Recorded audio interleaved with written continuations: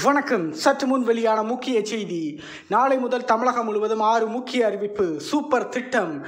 இது போன்ற பல முக்கிய செய்திகளை உடனுக்குடன் தெரிந்து கொள்ள மறக்காம நம்ம சேனலை சப்ஸ்கிரைப் பண்ணிட்டு பக்கத்தில் உள்ள பெ- உள்ள பெல் பட்டனை பிரஸ் பண்ணிக்கோங்க.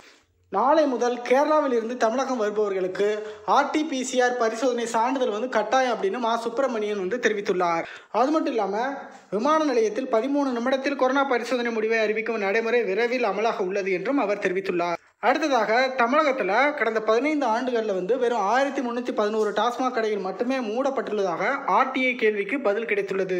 அது வந்து புரட்சி தலைவி ஜெயலலிதா அவர்கள் ஐநூறு கடைகளையும் இபிஎஸ் ஐநூறு கடைகளையும் திமுக சார்பில் வெறும் நாற்பது கடைகளை மட்டுமே மூடப்பட்டுள்ளதாக ஆர்டிஐ பதில் கிடைத்துள்ளது.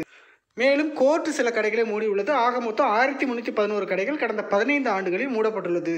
தமிழகத்தில் இந்த கொரோனா காலகட்டத்தில் ஆரம்ப கல்வி பயிலும் மாணவர்களின் கல்வி மிக மோசமாக பாதிக்கப்பட்டுள்ளது. ஏனென்றால் அவர்களுக்கு தான் ஃபர்ஸ்ட் கல்வியே ரொம்ப முக்கியம். எனவே சுகாதார வழிகாட்டுதல்களை பின்பற்றி ஆரம்ப பள்ளிகளை திறக்க வேண்டும். ஆரம்ப பள்ளிகளை திறப்பதால் நோய் தொற்று அபாயம் ஏற்படாது. பள்ளிகள் சுழற்சி முறையில் செயல்பட அரசு நடவடிக்கை எடுக்க வேண்டும் என ஆரம்ப பள்ளி ஆசிரியர் கூட்டமைப்பு வந்து வலியுறுத்தல் செய்திருக்கு. ஏற்கனவே அரசு பள்ளியை சேர்ந்த மாணவர்களுக்கு மருத்துவ படிப்பில் வந்து செவன் பாயிண்ட் ஃபைவ் பர்சன்டேஜ் வந்து இடஒதுக்கீடு வழங்கப்பட்டிருக்கு.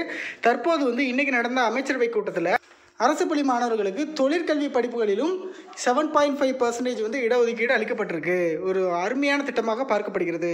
மேலும் நாளைக்கு இன்னொரு சூப்பர் திட்டம் அமலுக்கு வருது. ஸோ அதை பற்றி நம்ம பார்க்கலாம். மின்சார கட்டணம் தொடர்ந்து பல மடங்கு உயர்ந்து வருவதாக செய்திகள் வெளிவருகின்றன. உங்களுக்கு உயர்ந்திருந்தால் nine four nine eight seven nine four nine eight seven அப்படிங்கிற நம்பருக்கு கால் பண்ணி உங்களோட புகாரை பதிவு பண்ணிக்கோங்க அப்படின்னு அமைச்சர் சொல்லியிருக்கார். தமிழகம் முழுவதும் அரசு ஊழியர்களுக்கு ஒரு சூப்பரான மகிழ்ச்சி செய்தி வெளியே இருக்கு முழு விவரம் நம்ம சேனலில் இருக்கு. ஆகஸ்ட் பதினைந்து முதல் குடும்ப தலைவிக்கு மாதம் ஆயிரம் ரூபாய் வழங்க வந்து அரசு முடிவு எடுத்துள்ளதாக தகவல்கள் வெளியாகி உள்ளது முழு விவரம் நம்ம சேனல்ல இருக்கு. மக்களை தேடி மருத்துவம் அப்படிங்கிற ஒரு மாபெரும் உன்னதமான திட்டத்தை வந்து நாளை வந்து முதலமைச்சர் மு க ஸ்டாலின் அவர்கள் தொடங்கி வைக்க இருக்கிறாரு. இத்துடன் இந்த செய்திகள் நிறைவடைகிறது.